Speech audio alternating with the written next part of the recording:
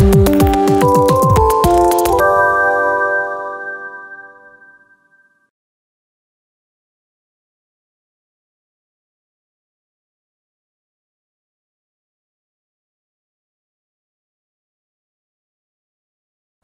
there are uh, many uh, uh known risk factors for acute bronchiolitis. First of all, uh, comor comorbidities, so children that has uh, chronic lung disease, uh,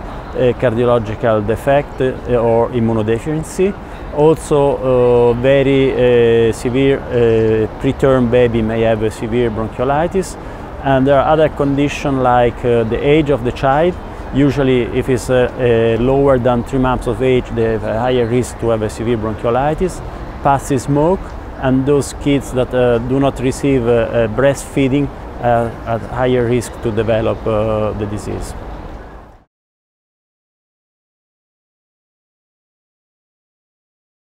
There are a lot of challenges in the treatment of uh, this uh, acute disease of uh, young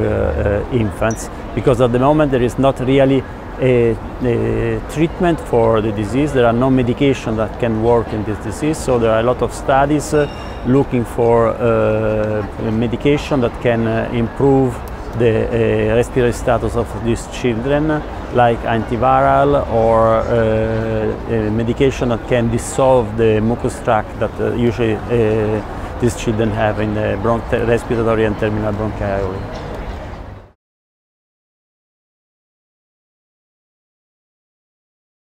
it is well known uh, from more than 100 years that uh, bronchiolitis is associated to the development of wheezy bronchitis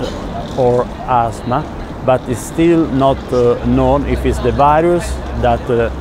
change the immunological status of the child and uh, make the child prone to develop wheezy bronchitis or asthma or if the virus just uh, identify a child that has a genetic predisposition for these uh,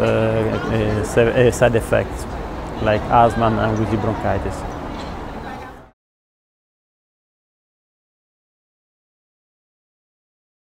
I think that uh, at the moment uh, the most important uh, treatment advance is the use of oxygen delivery with a high flow nasal cannula oxygen delivery because at the moment uh, there are no really uh, medication that are useful in the treatment of these children. There has been some studies showing that uh, hypertonic saline uh, was useful in the management of these children, but uh, two randomized uh, big studies have shown that there is no effect of also of hypertonic saline.